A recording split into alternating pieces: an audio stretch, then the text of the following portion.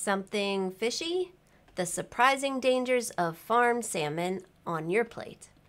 Hey everyone, welcome back. It's your guru for all things psoriasis. Today, I want to talk about an important topic that affects not only those with psoriasis, but everyone's overall health the dangers of farmed salmon.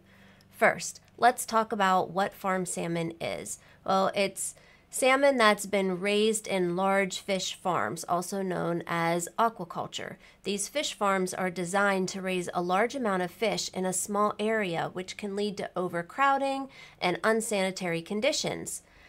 Now, what's the problem with farm salmon? One major issue is that farm salmon are also often fed a diet that is high in pesticides, chemicals, and antibiotics, and these toxins can accumulate in the fish over time, and when we consume them, then they can have negative effects on our health.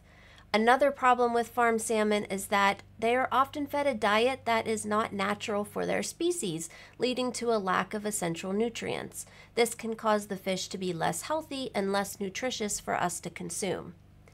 But what does this have to do with psoriasis specifically? Well, psoriasis is a chronic autoimmune disorder that causes inflammation in the body, and when we consume foods that are high in toxins and chemicals, it can exacerbate this inflammation, making the symptoms of psoriasis worse. Additionally, consuming farm salmon can lead to nutrient deficiencies, which can also have negative effect on psoriasis. So, what can we do to avoid the dangers of farm salmon? The best option is to choose wild caught salmon, which is caught in the wild and is not raised in a fish farm. Wild caught salmon is a healthier and more nutritious option. It's also a good source of omega 3 fatty acids, which can help to reduce inflammation in the body and are great for our skin. Another option is to choose other types of fish that are not farmed, such as sardines, mackerel, or anchovies. These fish are also rich in omega 3 fatty acids and are a good alternative to farm salmon. To sum it up, farm salmon can be dangerous for our health and particularly for those with psoriasis due to the high levels of toxins and chemicals, as well as the lack of essential nutrients.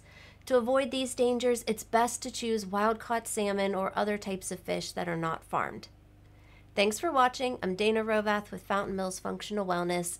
Don't forget to sub- subscribe to my channel for more tips and information on psoriasis, and I'll see you in the next one.